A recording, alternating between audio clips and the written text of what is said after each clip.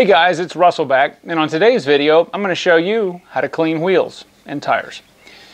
So this is probably, I don't know, one of the videos that's in the top five of requests from my viewers to show me, uh, to show you guys how I clean wheels. And the way that I'm going to show you is the way that I do it. It's not the only way to do it. Um, it's just the way that has worked well for me for the last 40 years. So the first thing is I always, always, always do the wheels last. Some people do them first, I do them last. And the reason is this.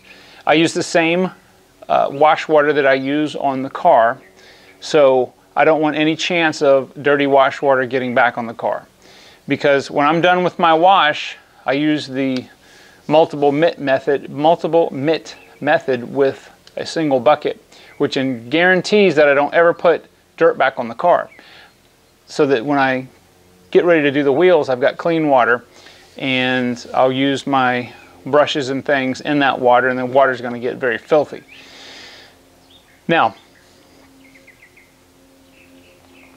when I'm doing wheels, whether it's painted aluminum or brushed aluminum, whether it's chrome or whether it's painted steel, I'm going to show you how to do all three of those today. Uh, I still do all of them last as far as washing the car. Um, what I'm going to do is I'm going to show you the method that just works best for me. Now, I always clean the wheels every time I wash the car. Um, the if you guys have been watching my videos, you know that I'm washing, uh, especially the Honda, one or two times a week minimum. I do have other cars that I'm doing to help speed up some of the videos. But in any event, the secret, the number one secret that I would say to ease your wheel cleaning pain is to get the wheels completely clean and then I use Adams liquid paint sealant on the wheels on the Honda uh, and on the chrome wheels that I'm going to show you and it makes cleaning them very very easy. I don't use any harsh chemicals. I don't use wheel acid. I don't use uh, anything like that because it's not necessary. And the reason is because wheels are a very, very dirty environment. They have a lot of acidic uh, brake material that's on there. The wheels get a lot of road film. And to compound that, the wheels get very hot from braking and that bakes that stuff on. And if you don't get it off, you can etch, permanently etch or damage the wheel. So when I have the Adams liquid paint sealant on there. It's very, very easy to come off and it it doesn't completely prevent, if I didn't wash the wheels for months, maybe it would degrade the finish. I don't know. I've never pushed it that long, but it just makes it easier. So I'm going to show you the main implements that I use and I'm going to go ahead and do a demo for you. We're going to do it first on the uh, Honda's wheels. They're pretty dirty and I'm just going to show you exactly what I do. Okay, so basically these are the implements that I use. I've got my bucket of leftover soapy water. It's about a third full. I'm doing this when I shot the Griot's car wash review, but it could be any. Whatever soap that I'm using, whatever review that I'm using, you guys know that's what I clean the wheels with. Now I have this very long brush right here.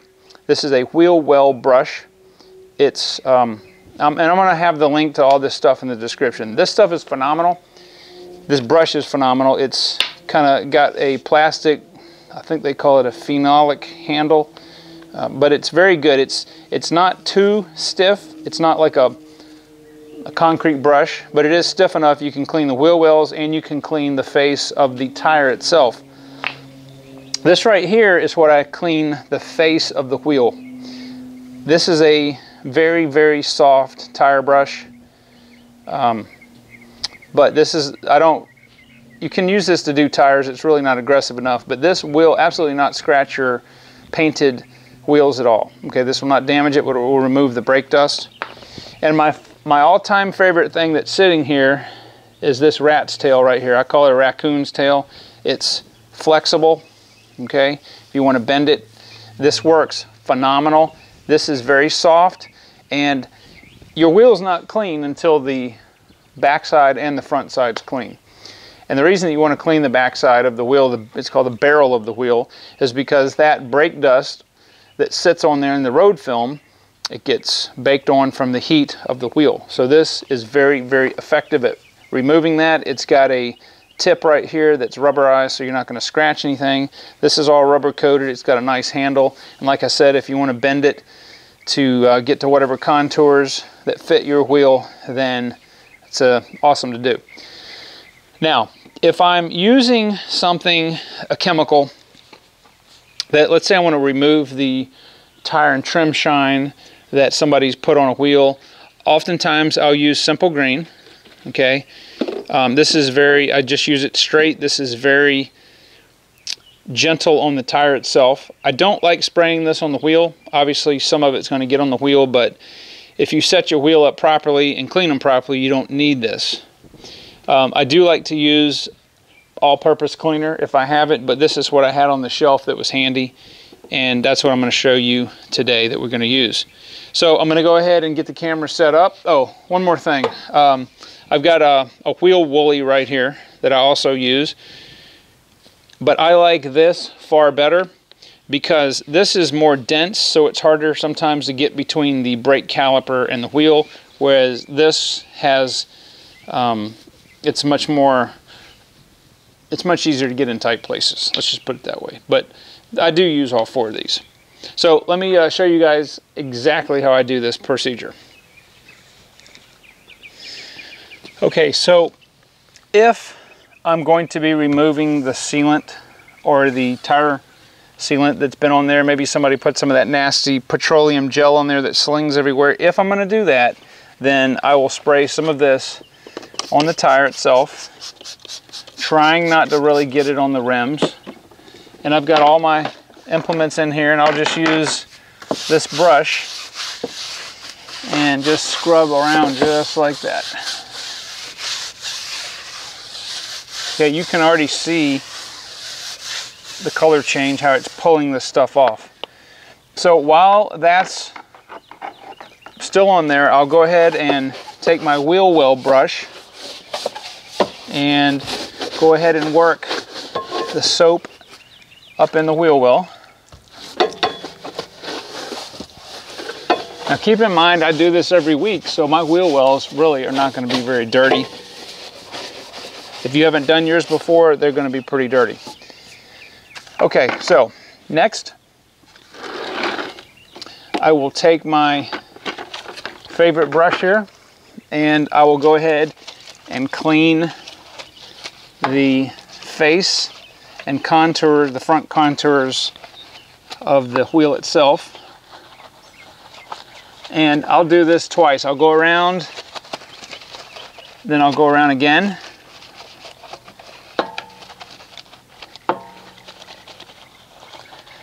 As I said in the intro, or earlier, this brush is extremely soft. It's not gonna hurt this. Okay, so next is the best part. I take my rat's tail here, a raccoon's tail, and I'll go ahead and get back in the barrel itself.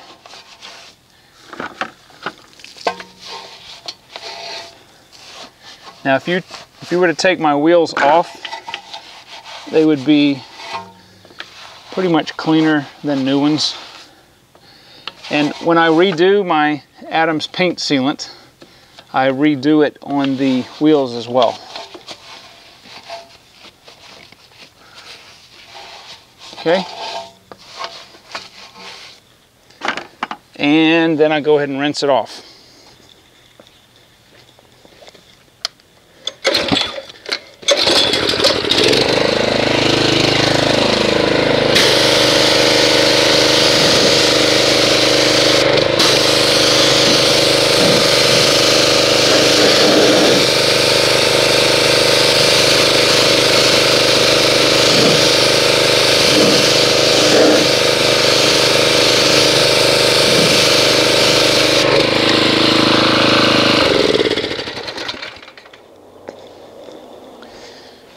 Okay, so I'm going to focus in a little closer.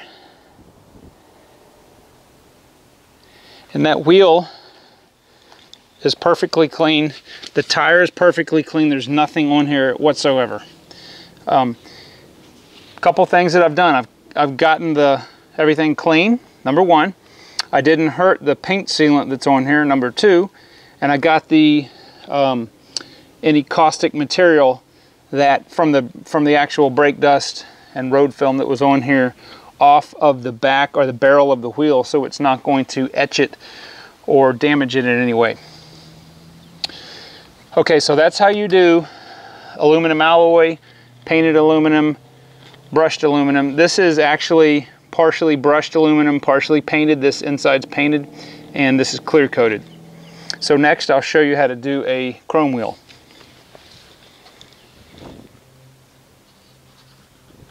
All right, so this is our typical chrome wheel. This thing is absolutely filthy, as you can see. Um, I'm going to take the simple green, spray it on the tire, get my fender and wheel well brush,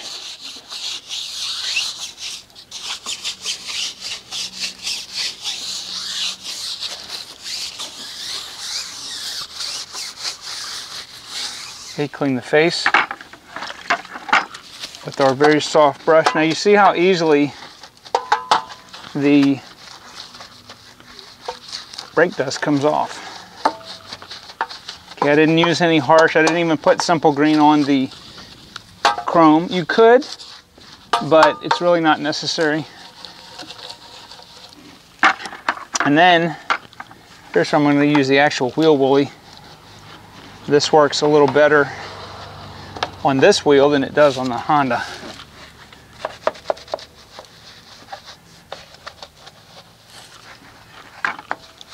Now the problem with this wheel, which I'll show you in a minute, it has some etching on it. I'll try to use this. Depending on where the brake caliper is and how close your rotors are to your wheel, the clearance is de will determine whether this will actually get very far in there, which that's the caliper right there. See, that one goes in further. And you can take this and you can get a dedicated wheel lug brush if you want to. And we'll go ahead and rinse this off now. All right, so after the wheel is rinsed, I'm gonna show you guys what etching looks like on a chrome wheel. Let me get that in focus. Okay, that right there is actually where the brake dust had sat for quite a period of time and had etched in there and eaten away at the chrome. Obviously before I got the truck, but you can use some chrome polish on that and minimize that a little bit. Um, but that's why it's very important to keep your wheels clean. All right, you need to keep them clean. Wash them every time you do your car. And next, I'm going to show you how to clean a stamped steel wheel. All right, so here's our stamped steel wheel. This is just a regular painted wheel. And here is where you can use your simple green if you wish on the wheel and on the tire face. And again, we're going to take our heavy brush, our wheel well brush, and get the tire.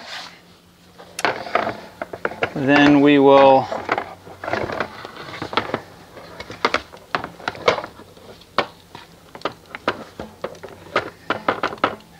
Gonna get some more soap on here and I'm just gonna use this same brush.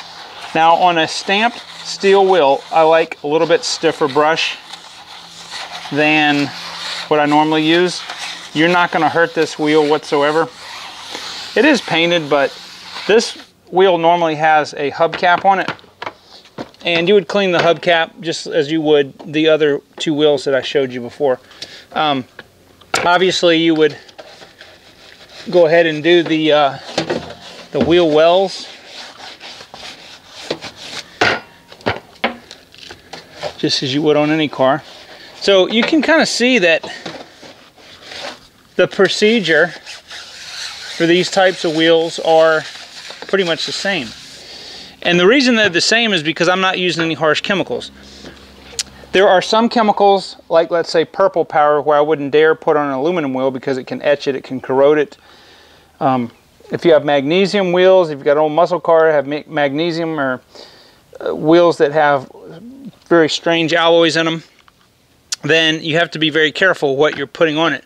But this is just uh, Adams red car soap. It is absolutely not going to hurt this wheel whatsoever. You don't have to be worried that it will etch or do anything weird to your wheel. Um, just keep in mind that if you have a super, super, super dirty wheel, which I'm going to find one of those for, for you guys, that takes a little bit different approach, all right?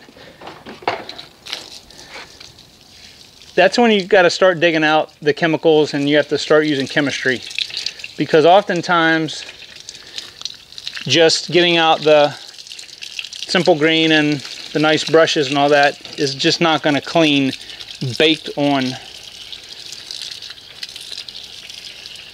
dirt and baked on uh, residue from your from your brake pads. It's just not going to work but 99% of the time, this is exactly how I clean wheels and tires. And then if I'm in a hurry, I'll take my blower, as I've showed you guys how to dry in the how to dry a car video. I'll blow them dry and then I'll go ahead and treat the tires with dressing of whatever I'm going to use. And uh, that's about it. Guys, it's not, it's not hard. The, the main thing that I can stress to you is the implements that you use. The brush for the wheel well, the raccoon's brush, I love that. The wheel woolly, and also the regular tire brush. You know, sometimes with chrome you'll have to pull out some additional, um, you can even use some mild steel wool if it's really corroded. And then of course, the simple green, if you're gonna use it, you can use all-purpose cleaner. I'm gonna have some tests that we're gonna do later on some different products, but I just wanted to give you an overview of how I did um, wheels and tires, how I clean them. So guys, I hope this was, uh, I hope this video was helpful to you. If you have a different method, if you have different implements that you use, if you have a favorite chemical that you like to use for your wheel and tire maintenance wash and I would encourage you to post that below so that uh, we can all learn from that and I will talk to you guys on the next video.